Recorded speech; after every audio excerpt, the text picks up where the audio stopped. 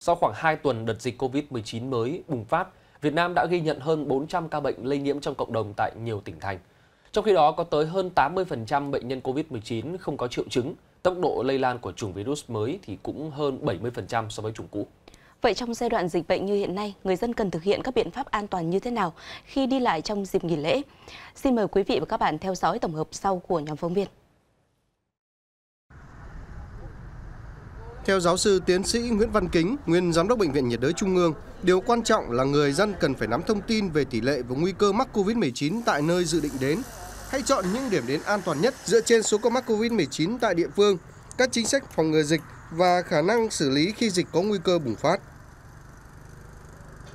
Trước hết phải là phải đánh giá mà cái gọi là sự khôn ngoan của từng con người. Một là đánh giá trong cái vùng của cái quê của mình về đấy thì đã có cái nguy cơ là nhiều người ở vùng dịch trở về hay không và theo những thông báo trên báo chí thì là rất nhiều tỉnh thành hiện nay là hạn chế những người ở các cái nơi có dịch đi về. À, thậm chí là người ta à, đòi là cách ly từ Hà Nội từ thành phố Hồ Chí Minh hoặc thậm chí là Hồ Chí Minh chỉ có một vài ca nhưng yêu cầu là cách ly đốt ừ, tất tật ai về là cách ly 21 ngày. Thế nhưng mà theo những quan điểm hiện nay của ban chỉ đạo phòng chống dịch thì nếu dịch bùng ra ở đâu thì chúng ta khoanh vùng dập dịch tại chỗ chứ không phải là giãn cách toàn bộ xã hội hoặc là cách ly toàn bộ xã hội. Thành thử ra là chúng ta vẫn phải xem xét một cách khôn ngoan để tính toán xem về thì có lợi hay có hại và à, có nguy cơ bị lây nhiễm à, do chúng ta mắc rồi mang về hoặc là về cái địa phương ấy bị lây nhiễm này mang trở lại cái nơi chúng ta ở và làm việc lâu dài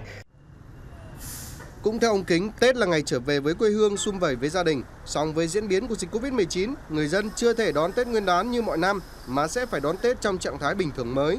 Trong bối cảnh dịch bệnh vẫn đang diễn biến phức tạp, người dân cũng nên hạn chế đi lại và tuân thủ nguyên tắc 5K, khẩu trang, khử khuẩn, khoảng cách, không tập trung và khai báo y tế.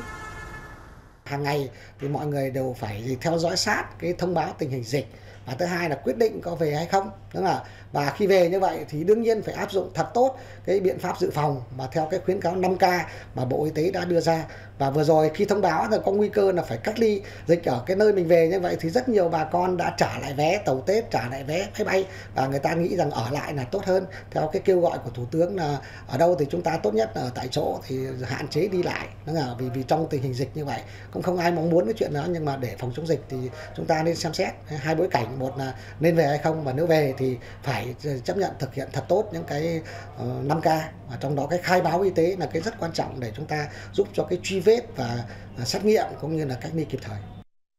Các chuyên gia y tế khuyến cáo có 3 câu hỏi người dân cần phải cân nhắc kỹ khi lên kế hoạch cho dịp nghỉ Tết năm nay. Đó là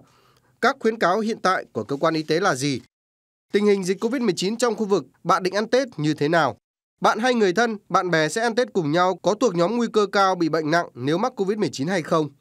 Hãy sẵn sàng thay đổi kế hoạch vào phút cuối nếu bạn hoặc những người ăn Tết cùng bạn bị ốm hoặc có thể đã tiếp xúc gần với người mắc COVID-19.